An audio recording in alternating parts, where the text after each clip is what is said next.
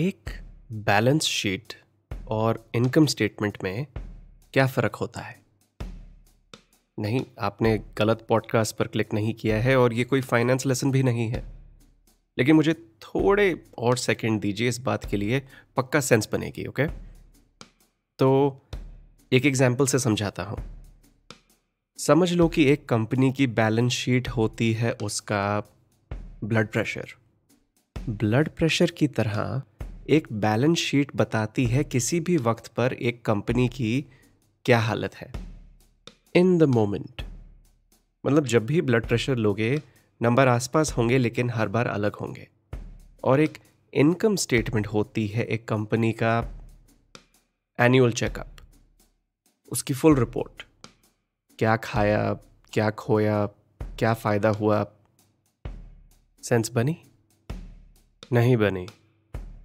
Okay simpler तरीके से बताता हूँ। एक इनकम स्टेटमेंट होती है एक एनुअल फ़ोटो आपको पता है कि हर साल एक स्पेसिफिक दिन पर आपका पोर्ट्रेट होना है तो आप सच धज कर उसके लिए पोज करते हो। और हर साल एक नई फ़ोटो होती है आपकी, जिससे आप पिछली सारी फ़ोटो से कंपेयर कर सकते हो।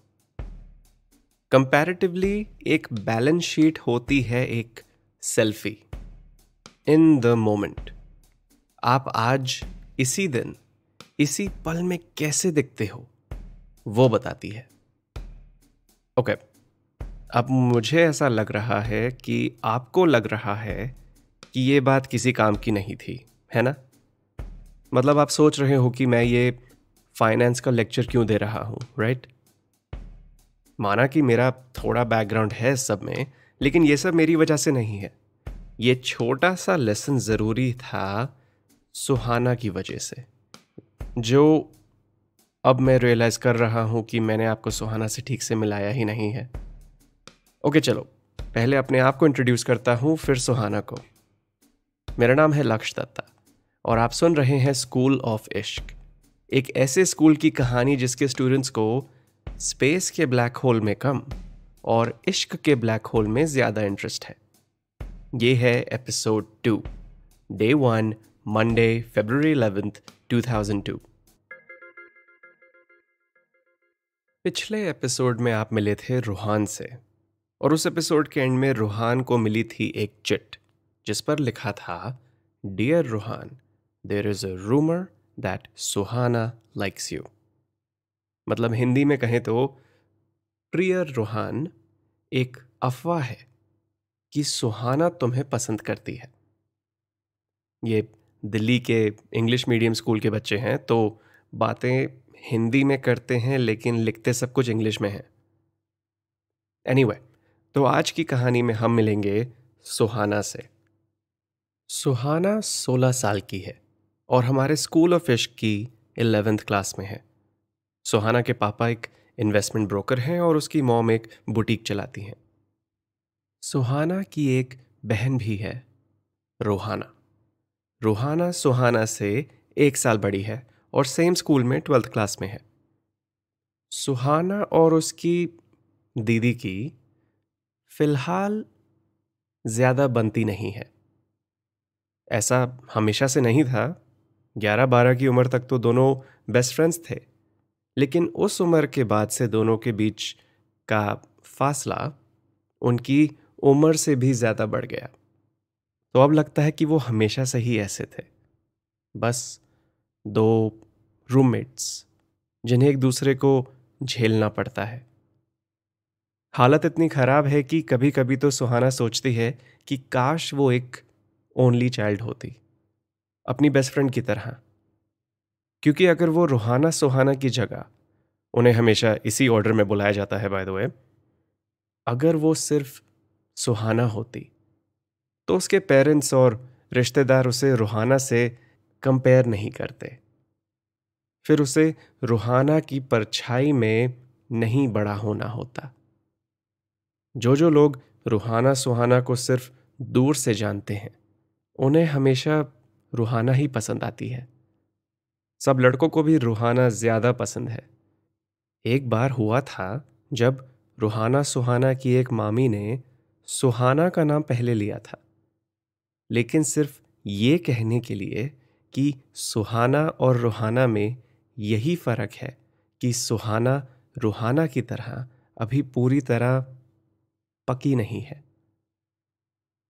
ये उन मामी के शब्द हैं, मेरे नहीं। और ये शब्द सुनने पर सुहाना ने अपने मन में कहा था कि अगर मामी जी को पता होता कि उनकी बेटी सेजल कितनी पक गई है तो वो अपने घर से बाहर भी नहीं निकलती।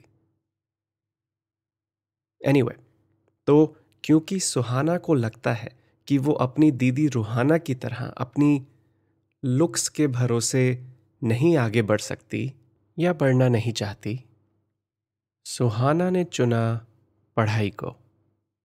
स्पेसिफिकली मैथ्स और फिजिक्स। सुहाना की ज़िंदगी का मोटो है मॉर्फीज लॉ, जिसका पॉइंट है कि अगर कुछ गलत होना है तो वो होके रहेगा। और सुहाना इस प्रिंसिपल को अप्लाई करती है स्टॉक मार्केट में। इसीलिए जब स्कूल की असाइंड मैथ्स और फिजिक्स बुक्स कम पढ़ती हैं, तब सुहाना पढ़ती है इनकम स्टेटमेंट्स और बैलेंस शीट्स को। मैंने वो सब फाइनेंस की बातें इसलिए करी थी क्योंकि वो सुहाना के लिए बहुत इंपॉर्टेंट है। और अगर कुछ सुहाना के लिए इंपॉर्टेंट है तो वो इस कहानी के लिए इंपॉर्टेंट है। सुहाना करीब दस साल की थी, जब उसके पापा ने उसे अपने काम के बारे में समझाया था। और पिछले पाँच छः साल में सुहाना इतना कुछ समझ गई है मार्केट्स के बारे में कि अब उसके पापा अपने क्लाइंट्स के पोर्टफोलियोज सुहाना से सिलेक्ट करवाते हैं।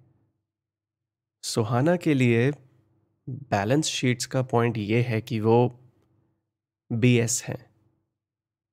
लेकिन हर बीएस को भी फिजिक्स के लॉज को फॉलो करना पड़ता है।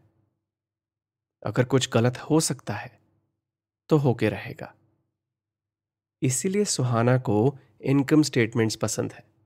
इनकम स्टेटमेंट्स होती हैं पूरा सच। इन द मोमेंट वाला छोटा सच नहीं। फुल रिपोर्ट वाला सच। सुहाना को लगता है कि जब पूरी दुनिया का ध्यान हमेशा जाता है उसकी बहन रूहाना की तरफ़, कि रूहाना बैलेंस शीट है। दूर से देखो, इन द मोमेंट देखो तो ठीक है, वो अच्छी लगती है। लेकिन सुहाना, इनकम स्टेटमेंट है। थोड़ा इंतज़ार करना पड़ता है उसके लिए। लेकिन जो दिखता है जो मिलता है वो होता है पूरा सच। ओके okay, तो इस लंबी बैक स्टोरी और फाइनेंस लेसन के बाद अब हम आते हैं कहानी के उस मोड़ पर जहाँ ये एपिसोड हमारे पहले एपिसोड से कनेक्ट होता है। आपको अगर याद नहीं है तो कराता हूँ। पिछले एपिसोड के एंड में रूहान की टेबल पर किसी ने एक चिट पास करी थी जिसमें लिखा था dear Ruhaan there is a rumour that Suhana likes you वो था आज ही का दिन Monday February eleventh two thousand two seventh period physics जिसमें रूहान बिल्कुल भी ध्यान नहीं दे रहा था। मतलब नहीं दे रहा है, क्योंकि हम अभी उसी क्लास में बैठे हैं रूहान और हमारे इस एपिसोड की हीरोइन सुहाना के साथ। सुहाना एज यूजुअल सबसे आगे बैठी है। और बहुत ज़्यादा ध्यान दे रही है। क्योंकि आपको तो पता ही है कि फिज़िक्स उसके दो फेवरेट सब्जेक्ट्स में से एक है। तो फ़िलहाल सुहाना, अपनी फ़िज़िक्स टीचर मयूरी मैम की बात को कुछ ज़्यादा ही कंसंट्रेशन के साथ सुन रही है। और मयूरी मैम अपने लेक्चर के क्लाइमैक्स पर पहुँच ही रही थी, लेकिन तभी उनकी बात काट देती है स्कूल की घंटी। पीरियड ख़त्म, बच्चों का ध्यान ख़त्म, मयूरी मैम की बात ख़त्म। सुहाना को ऐसे बात बीच में छोड़ना बिल्कुल पसंद नहीं। उसे लगता है कि जब कोई एक कहानी बीच में छोड़ता है तो कहानी का मज़ा खराब हो जाता है। लेकिन सुहाना को इस वक्त नहीं पता है कि अगले एक मिनट में वो एक नई कहानी का हिस्सा बनने वाली है। और वो इस ज़िंदगी के बारे में जो भी जानती है, समझती है, उसके इस ज़िंदगी में जो भी उसूल हैं उन सब का इंतहा शुरू होने वाला है। क्योंकि क्लास के ख़त्म होने पर, जब सुहाना बोर्ड से नज़रें हटाकर वापस अपनी टेबल पर रखती है, तब उसे वहाँ पड़ी मिलती है एक चिट। और जब वो उस चिट को खोलती है तो उसे मिलता है उसमें लिखा एक message. Dear Suhana there is a rumour that Ruhaan likes you और आज की कहानी यहीं तक। अब जब आपने हमारे ये पहले दो एपिसोड सुन लिए हैं तो शायद आपको समझ आ रहा है कि ये कहानी कहाँ जा रही है। फ़िलहाल मैं तो आपको सिर्फ़ यही बता सकता हूँ कि अगले एपिसोड में ये कहानी जा रही है डे टू पर, जो है स्कूल ऑफ़ इश्क का। प्रोम्पोजल डे फेयरवेल और प्रोम नाइट आ रहे हैं। फाइव डेज़ टू गो लेकिन उससे पहले काफ़ी लोगों की दुनिया बदलने वाली है। कुछ और लोग इश्क के इस ब्लैक होल में घूमने वाले हैं और घूमने भी वाले हैं। तो अगले एपिसोड में मैं आपको सुनाऊँगा इस कहानी का अगला चैप्टर मेरा नाम है लक्ष्य दत्ता। और आप सुन रहे हैं लॉन्चोरा का पॉडकास्ट स्कूल ऑफ़ इश्क आपको ये एपिसोड कैसा लगा? मुझे बताइए इंस्टाग्राम पर at L A K S H Y A dot D और हाँ अगर इंस्टाग्राम पर जा ही रहे हैं तो देखना कि मेरी बायो में एक लिंक है, जिसमें कुछ और इन्फॉर्मेशन है इस पॉडकास्ट के बारे में। और एक नया तरीका बनाया है मैंने for you to show your इश्क फॉर स्कूल ऑफ़ इश्क तो मिलते हैं अगले एपिसोड में, जिसका नाम है डे टू रूहान